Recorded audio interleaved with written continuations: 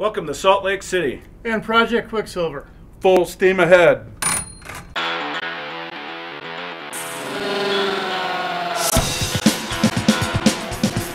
Welcome to Data Center Pulse. Today's episode is eBay's modular data center RFP, codenamed Project Quicksilver. And I'm very pleased to announce that we have selected the winner. That is AHA Consulting Engineers and Winterstreet Architects as a team. They will be building our data center here in Salt Lake City. And by the way, it is 7 Fahrenheit outside. But who I have with me is Mark Meche, Winter Street Architects, Principal Architect. Uh, Conleth O'Flynn, uh, AHA Consulting Engineers Partner and Lead Electrical Mechanical Engineer. And I'm Mike Lewis. I'm Director of Mission Critical Engineering for eBay. So we put this RFP out a few months ago, and it's been a very interesting process. And I'd like Mike to just give us a recap of what uh, has happened. Sure, if you remember, we sent the RFP out uh, open to anybody that had the ability to design data centers. We actually sent the RFP out to about 68 different firms, and out of those 68, we had about 20 that actually responded to that. Uh, we went through the process of objectively ranking each one of those uh, responses, and we came up with the top five uh, responses that we brought out to San Jose, had them present their designs to us. Uh, after they had done that, we went through and evaluated all the designs for, for the different things that we were looking for flexibility, modularity, scalability, um, and, and, and then we're able to uh, choose the winner based on uh, those presentations. And I want to recap as well the value of this RFP process. It's been extremely valuable for two reasons. First, from an eBay perspective, we have uh, a platform to go out and find the best in the industry.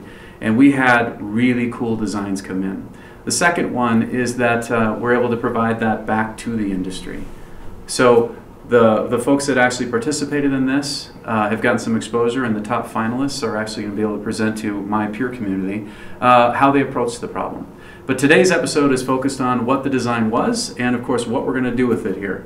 Now, um, why don't you guys talk a little bit about uh, your companies? So, what the what roles you guys play in there around Quicksilver?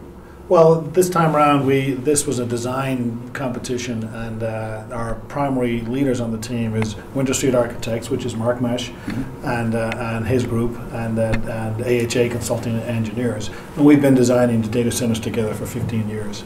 And, and, and I'm going to stop you there for a second because you guys don't look familiar, but you are familiar. yes, yes, we were part of the uh, of the successful team from Project Mercury, and the team has changed a little bit. Last time around, it was a design build, and our leader EDI was was the build leader, and we were the design team. This time around, it is a, a design bid build competition, and where it is uh, Winterstreet and AHA are the partners leading the team. We have KSI structural engineers, uh, who are our structural engineers who we partner with well. We have SOMAS, who are a local site civil engineer, and actually EDI are also part of the team as, as technology consultants also. And, and I want to make sure that people are really clear. Just like last time, um, the previous history of the companies that were participating in this RFP process didn't matter. They had to stand on their own merits with their design against their actual peers in the industry. Their proposal was everything that we considered. So that was their ability to answer everything in the RFP, and then their design, and then also could the team actually build and deliver it, right? The design itself. So, Mike, you want to talk a little bit more about that? Yeah, sure. We really, we really were looking for the answers to our RFPs, as you mentioned. Uh, but in this, in this case, we had a, a, an open, clean slate we started with, where we had a blank field and gave the designers a number of options on how to solve our problem. Yeah. So we were, so the, the space planning of how do you mix the white floor space with how do you mix the infrastructure with and where do you put the containers was really very important and played a, a large role in how we chose the design. Mm-hmm. Also, also being able to be flexible and handle both the power distribution and as far as low dense solutions, moving to high dense solutions, and how, how you're able to do that as least intrusively as possible while still maintaining operations, flexibility in the cooling designs, and also the efficiency in the cooling designs. Uh, year round free cooling here in Utah was a, was a very achievable goal. Uh, and then also the, the ability to scale past um, the initial the initial installation and being able to grow with us as a business.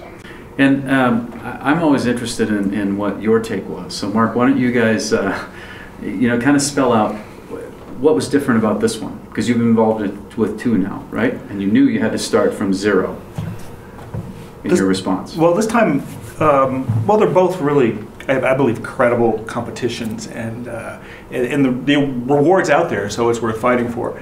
Um, for the second time around, uh, we first there was a point in time where we just weren't sure we were going to go for it because we were wondering if eBay could actually select us twice in a row. Um, that didn't last very long, and, and we went for it, and, and here we are today.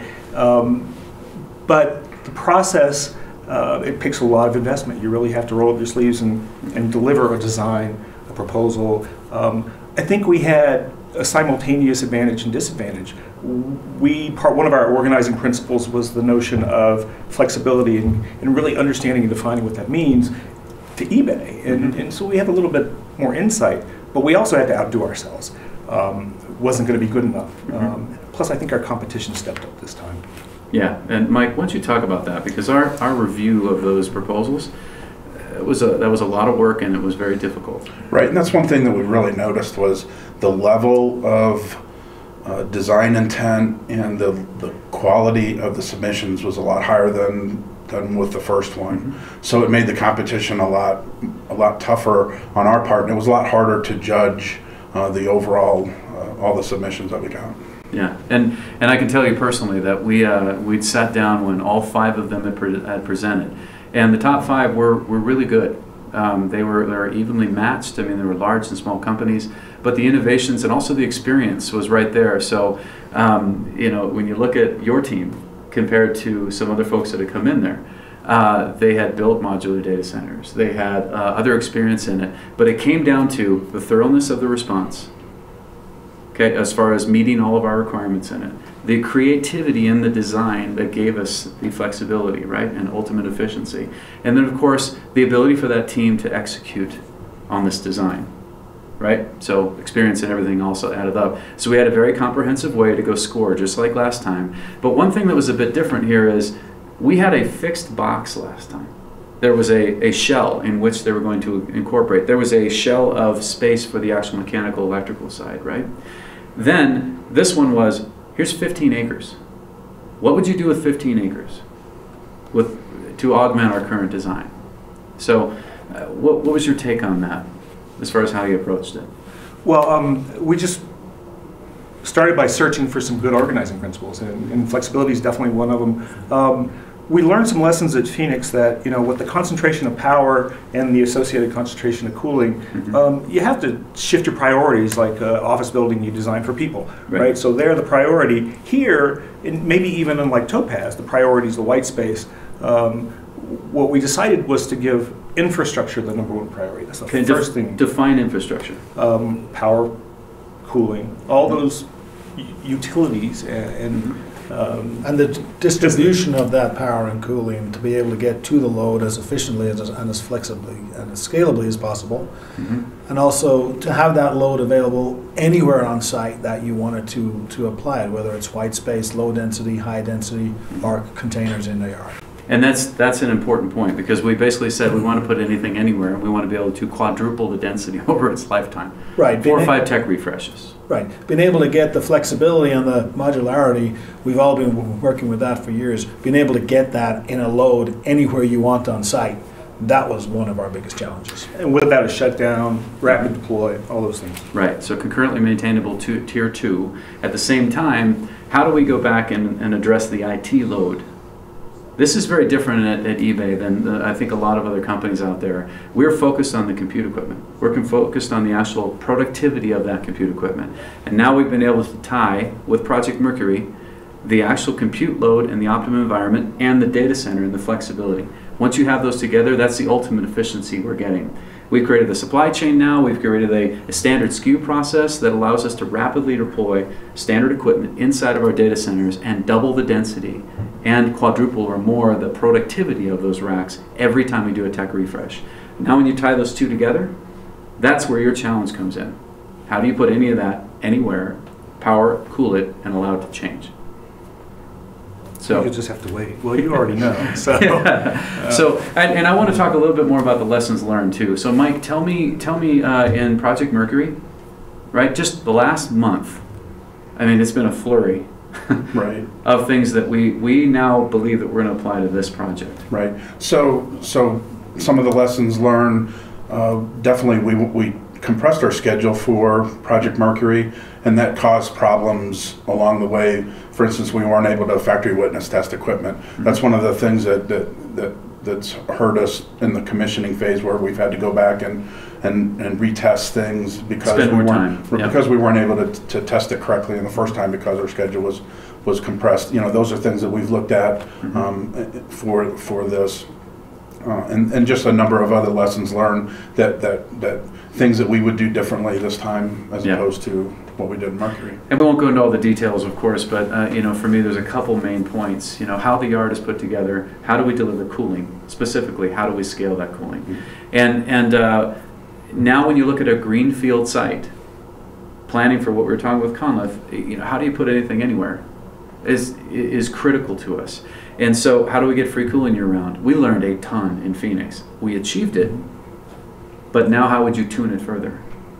And that's what I'm really looking forward to in Quicksilver is what are we going to do next at scale to what we did in Phoenix? Because there's going to be plenty of similarities between the design that we did in Mercury and what we're doing now, but it's not going to be the same design. So how do we take those lessons and, and, and make a better facility here? And there's Right. going to be improved interrelationships between all the systems based on what we learned in Phoenix too. Yeah. Yep. And, and these guys live on the East Coast, but we don't hold it against them. So, uh, I, I, Mike, can you tell me about the schedule? Because we've now expanded it a little bit, but it's still based on what we published. Sure, so tomorrow we start the design meetings. Um, the goal is to be under construction by Q2 of next year, and then to have the facility complete and commissioned by December of 2012. Yep. December 21st. Sounds familiar. Okay, great. Well, I do want to say, um, first off, to everyone who participated in this project, thank you very much. Um, it was a very healthy competition, and all five of the finalists should be very proud of what they actually put in. And being able to present that back to my peers, like we said, there's there's not a single answer to every problem. This is the answer that made sense to us right now based on our scoring. But the rest of the, the, the solutions themselves, very, very viable, and I know that there's going to be a lot of interest in the industry and how they approach that problem. So, guys, thank you very much for all the work you put into this. Are you ready for a whole lot of fun? We're ready. Right on. Join in fist bump. Thank you for watching Data Center Pulse, and stay tuned for additional updates on Project Quicksilver.